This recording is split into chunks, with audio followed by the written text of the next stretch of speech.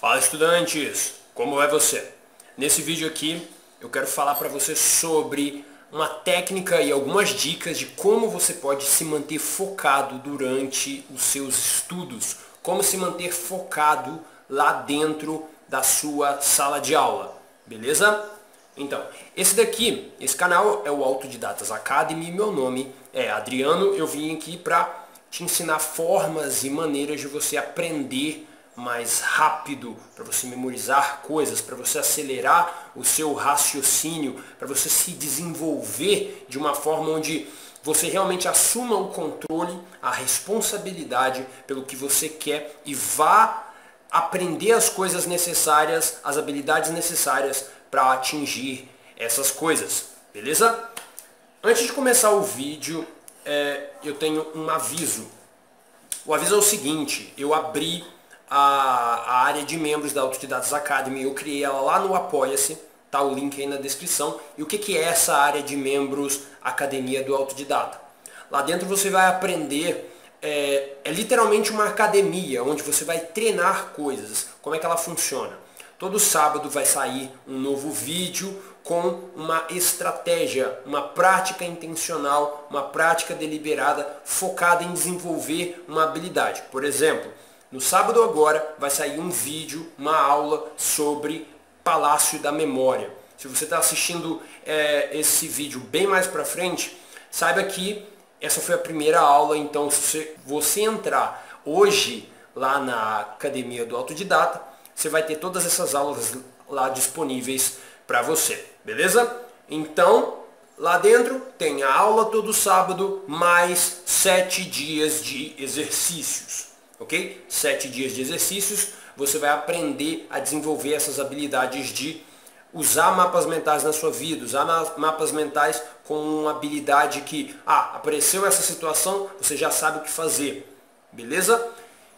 Então vamos aqui direto ao estudo, porque o link para essa área de membros está aí na descrição. São 50 vagas, ok? 50, 50 vagas para você. Para você ficar focado dentro dos seus estudos, existe um conjunto de coisas que você precisa fazer. Entre eles, a gente pode separar em duas categorias. Conjunto de coisas internas e conjunto de coisas externas. Essas coisas você precisa fazer, ok? Para que durante o seu estudo isso mantenha você centrado e focado nesse é, é, objetivo. O professor está falando, você está concentrado no que ele está falando. Você está lendo, você está aqui concentrado, ok? Você não tem dispersão. É o que eles chamam de trabalho profundo, né? o deep work lá do Colin Port. Então, a coisa interna que você precisa fazer é o seguinte. Você precisa se manter concentrado. Eu separei aqui cinco dicas. 1. Um, se manter concentrado, eu vou entrar nelas, ok? 2. Ficar focado no conteúdo. 3. Meditação produtiva. 4. Ter claros os seus objetivos. E 5. Decorar e repetir afirmações diariamente. É o seguinte, como é que você, tópico 1, se mantém concentrado em alguma coisa? Você precisa, para se manter concentrado, no mínimo, da, do vídeo de ontem. No vídeo de ontem eu falei que você precisa definir um norte durante o seu estudo, para que quando aquela coisa que você queria aprender surgir durante a sua leitura, surgir durante a sua aula, você consiga perceber e ela vai se destacar para você. Beleza? Então, o que, que garante uma boa concentração? Você precisa estar sentado bem. A concentração é, é bem assim, Ó, você precisa estar hidratado, você precisa ter comido bem, você precisa ter dormido bem, ok? Então veja essas áreas aí da sua vida para ver se elas não estão influenciando negativamente nos seus resultados de estudos. Você está hidratado? Você está comendo bem? Você está dormindo bem? Entendeu? Essas coisas são é, importantes. E a concentração vai vir à medida que você desenvolve uma curiosidade pelo tema e uma curiosidade envolvida com a sensação de escassez. Ou seja, você tem 50 minutos para aprender o tópico X E aí você tem um professor, você tem um livro, você tem vídeo aula. O que, você pode fazer? Usa esses 50 minutos da maneira mais engajante que você consiga para atingir esse objetivo. Então, converse com o professor, faça anotações eficientes, é, é, veja várias aulas, acelere o vídeo, entendeu? Tente ler mais rápido. Foi mal. Tente fazer coisas que garantam que durante esse processo, ou seja, o estudo passivo, ele vai te deixar mole, você não vai conseguir fazer, você vai ficar assim, ouvindo o cara, totalmente, é tipo ver num filme de cinema, você fica é, é, viajando na maionese. Mas quando você estuda, você precisa estar num estado de engajamento. Esse estado de engajamento vai vir a partir da sua curiosidade e de como você está usando o seu corpo durante o estudo. Beleza? Então vamos passar para as próximas aqui. Ficar focado no conteúdo, que é o que eu falei. O cara está falando, você está lendo, mas você não está simplesmente ouvindo, você não está simplesmente lendo. Quando o cara fala, você está anotando, pá, pá, pá, anotando. Quando o cara falou alguma coisa importante, você riscou, você deu uma volta por cima, você fez uma nota. Ah, isso aqui tem a ver com aquilo. Entendeu? Você usou o método de Cornell e, blá blá blá. Tá entendendo? Então, isso vai garantir uma boa concentração. Se você fizer se você fizer, vai garantir uma boa concentração, porque você vê o vídeo e aí você não aplica, então não está servindo de muita coisa, beleza? Então, a próxima coisa é muito importante, eu estou passando rápido assim, mas pegue essas coisas, faça uma sua lista e, e, e olha, faz um checklist assim num flashcard e, e, durante o seu dia, ah, eu estou dentro de uma aula, então eu quero me concentrar. O que, que eu faço para me concentrar? Ah, então, eu tenho que focar no professor, focar no conteúdo e eu tenho que a, adquirir uma postura ativa em direção ao conteúdo. Ah, eu tenho que fazer isso, né? Beleza, então como é que eu vou fazer? vou começar a fazer um mapa mental, vou fazer o Cornell, entendeu? Essa é a mentalidade do estudante que está lá no, no curso Anotações Eficientes, lá no, no, no, nos primeiros vídeos. Mentalidade do estudante. Beleza. Aí eu vou passar uma dica muito importante para você, que é toda vez que você perceber que seus pensamentos estão em devaneio, ou seja, estão em free association, associação livre, tipo, você começa a pensar nessa caneta, e aí a caneta te faz pensar em alguma coisa, essa alguma coisa te faz pensar em outra, em outra, e você vai dentro de um enredo, de uma história que a sua cabeça mesmo inventou. Isso é chamado viagem na maionese. Beleza? Então, Free Association, o que, que você tem que fazer? Você usa essa técnica chamada meditação produtiva. Essa técnica está dentro do livro é, Trabalho Profundo, do Cal Newport, que vai estar aí na descrição para você comprar, eu acho que com desconto, ok? Se você quiser. É muito interessante esse livro e eu recomendo demais que você leia em 2019. Então, o que, que o cara fala? Toda vez que a sua atenção, pá, ah, você está aqui tentando aprender, estou querendo aprender função quadrática. Estou lá, ah, aí sua cabeça, sua cabeça vem, ah, novela, ah, a série, ah, aquela pessoa que é atraente, ah, aquele filme que eu tenho que assistir. Começa a sair fios aqui de atenção, aí o que, que você faz? O seu único trabalho, e, e, e me ouça bem, o seu único trabalho durante a meditação produtiva é perceber que a sua atenção desfocou. Ok? Ela desfocou. É, quando você tenta mirar com a sua câmera e ela desfoca, o que ela faz? Ela fica toda borrada.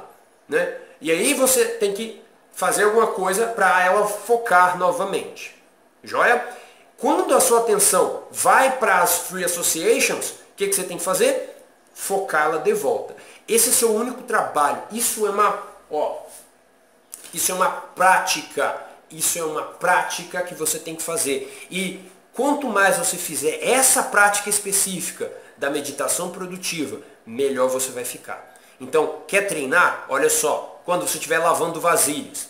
Tente pensar apenas em lavar vasilhas. Toda vez que vir um outro pensamento na sua cabeça, traga de volta. Vou, traga de volta. Traga de volta. Entendeu? Pra lavar vasilha. Tá tomando banho? Pensa em. Por quê? Porque esses dois lugares, esses dois locais, é ônibus, é, é Uber, é lavar vasilha e é tomar banho. Esses quatro locais fazem você viajar. Você fica pensando em todos, ah, o sentido do universo e tudo mais. Beleza? E aí o que, que você faz? Você treina meditação produtiva nesses espaços. Como que você treina? Simples, mas você tem que fazer. Quanto mais você fizer, menos você vai precisar fazer. E mais focado você vai conseguir ficar por um período maior de tempo. Beleza? Beleza. Então aqui, eh, as duas próximas são super rápidas e fáceis de você fazer também. Ter os seus objetivos claros. Seus objetivos precisam ser claros. O que, que você quer com a matemática? Você quer passar na prova. Então, as suas ações em direção à matéria, as suas ações que você fará na aprendizagem da matéria, tem que ter a ver com passar na prova. Você não pode simplesmente aprender a matéria toda, o livro todo, se isso não vai cair na prova. Por quê? Porque é o seu objetivo que direciona as suas ações. Eu repito, seus objetivos direcionam as suas ações. Então, o que, que você vai fazer, o que, que você quer e quais são as ações que você precisa realizar numa base diária para alcançar esses objetivos. E aí é fazer, fazer. Usa a regra dos 5 segundos, tem livro também, vou colocar aí na descrição. Me pediram muito para é, é, colocar os livros que, que eu recomendo na descrição, então vou colocar. E a última coisa tem a ver com a sua identidade. Como assim? Você vai estar tá nesse caminho aqui em 2019, vai ser o seu ano, não é verdade? Que você quer se tornar um estudante melhor, um cara que aprende mais rápido, que aprende melhor. Então o que, que você tem que fazer? Uma das coisas é mudar a sua percepção de identidade. Quem sou eu? Você pode dizer, eu sou um autodidata, eu assumi a responsabilidade pelo meu aprendizado. Eu consigo aprender qualquer coisa que eu queira aprender. Entendeu? Isso aí é o que? É identidade. E essas frases que eu falei são afirmações. Então, a última parte das coisas internas que garantem que durante a aula você consiga ficar focado, centrado naquilo que você precisa aprender, é isso. É você fazer é, afirmações diárias, de, de forma que com o quantidade de tempo você vai ficando cada vez melhor, vai decorando cada vez mais essas afirmações, e aí vai mudando, ou você vai se lembrando cada vez mais rápido do tipo de pessoa que você quer ser. Então essas afirmações são afirmações da pessoa que você quer ser no futuro. Ou seja, a pessoa que você quer ser no futuro vai, ser, vai, vai, vai fazer essas ações. Então, eu sou um cara que aprende qualquer coisa. Então, é esse cara que você quer ser. Então, em algum momento, você está seguindo sempre no presente, sempre no presente, sempre no presente. Em algum momento você vai chegar em 5 anos. Daqui 5 anos. Porque 18, 5 anos atrás era 2013. Então, se você falasse, daqui 5 anos eu quero, eu quero ser esse cara. E você repetisse, repetisse, repetisse, hoje você seria esse cara. Não é verdade? Então essa aqui é a última dica. Deixa eu dar um aviso final aqui para você que é autodidata. É, um dos desafios dos treinamentos online são dois.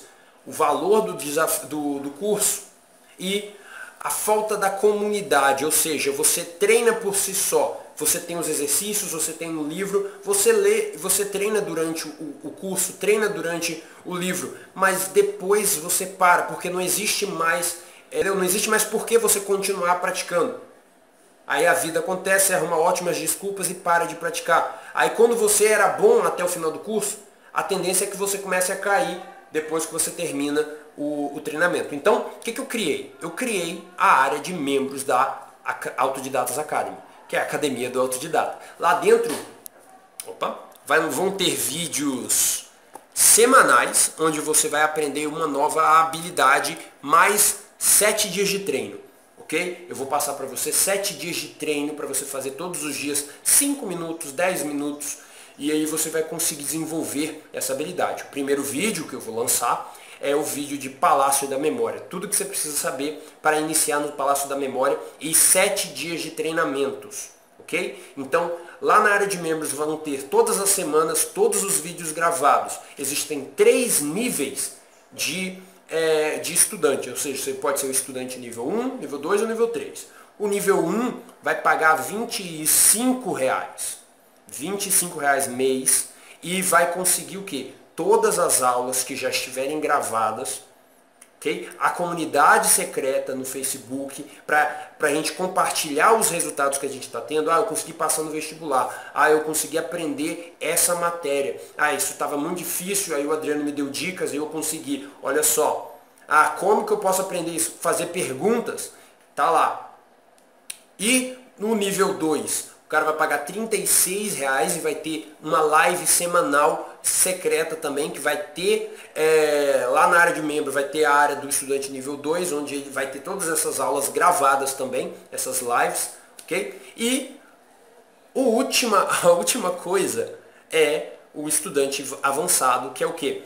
Que vai ser um cara que vai fazer coach um a um. Ou seja, eu vou estar lá atendendo você. Você vai, ah, eu estou com dúvida nisso. Tirei uma foto do, do do, do, da matéria que eu quero aprender, ah, estou com dúvida em história, como é que eu aprendo? Como é que eu uso o mapa mental para aprender história? Como é que eu uso o palácio da memória para desenvolver a química? Como é que eu faço isso? Você manda a foto, eu vou lá, ah, eu sei como é que faz. Então mando um áudio para você, ou faço aqui e mando um, vídeo para você, especificamente para você. Entendeu? Então é um coach um a um de até 42 horas que eu vou te responder em até 42 horas. Então, estudante, entendeu tudinho, vai colocar essas coisas em ações, essas sete, essas cinco dicas e mais. Se você for entrar também lá na área do autodidata estudante, estudante autodidata, ok? Então, estou é, meio cansado por esse vídeo, é isso. Continue estudando e aprendendo. Tchau, tchau.